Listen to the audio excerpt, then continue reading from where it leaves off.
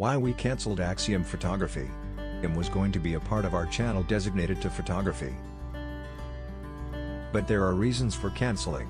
Lack of motivation and equipment damages, we left our camera out overnight for a time-lapsed video of a great city. And it rained. Our drone also malfunctioned, while filming a video. The drone was going to be a key part in our Axiom videos, so it was tragic. But also, BBN.